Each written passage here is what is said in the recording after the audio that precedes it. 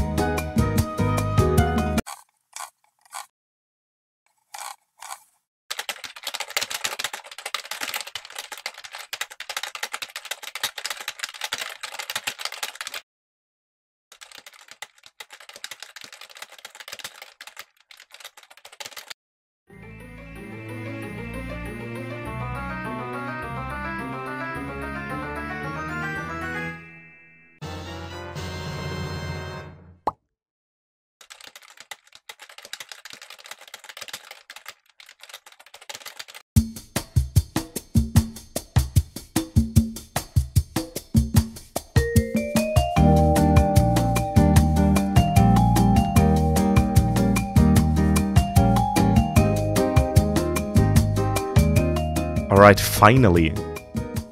At this point I just needed to change the extrusion mode to relative and tell it that 20mm of filament is a bit much for 2cm of distance with a 0.4 nozzle, and that we need our sweet mesh bed leveling.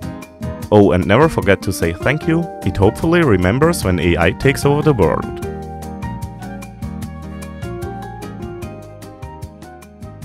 Let's fire up the printer and pray.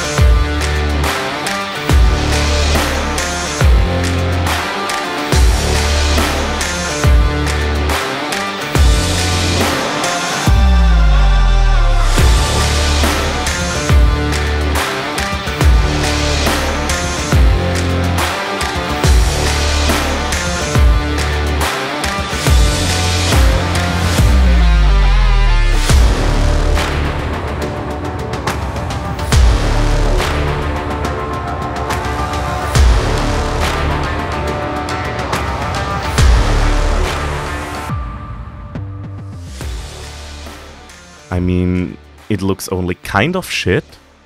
Let's try something more complex, like a torus.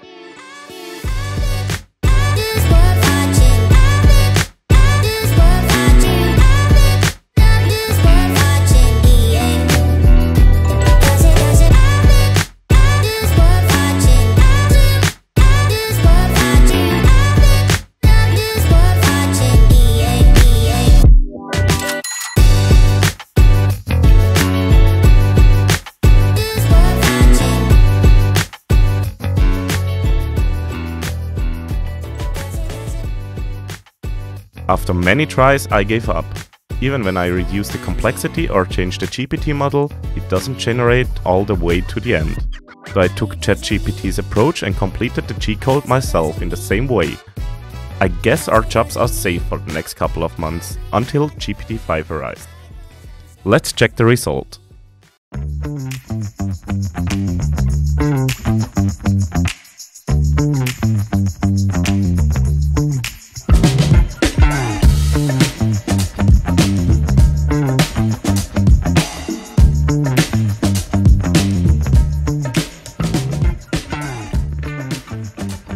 Well, what a shit day to have eyes.